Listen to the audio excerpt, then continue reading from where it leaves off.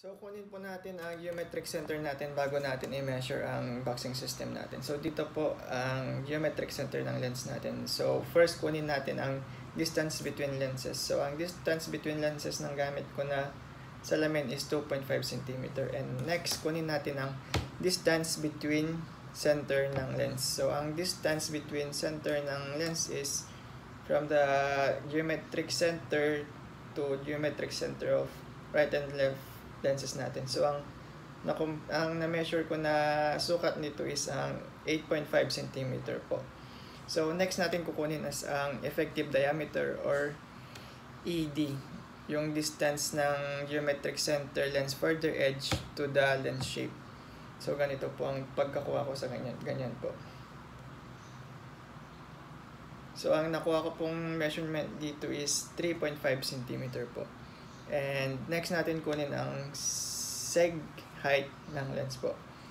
So ito po ang datum line natin, yung line po dito na horizontal sa lens natin. And ang kukunin po natin is yung gan sukat po from the geometric center from the bottom of the lens po. And ang nakuha ko pong sukat dito is 3 cm po.